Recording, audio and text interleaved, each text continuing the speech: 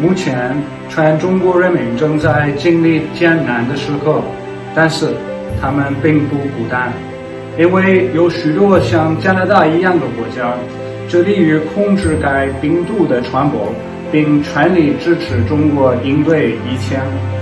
我们会一如既往地相互支持，保持团结。最近，全中国人民正在面临着巨大困难，但是我希望你们知道。你们并不孤单，加拿大人民支持中国人民。在这个充满挑战的时期，还会有更多的加拿大人帮助中国。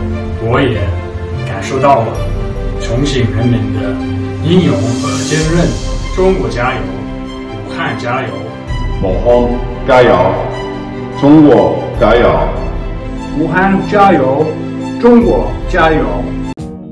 更多精彩尽在中国新闻网客户端。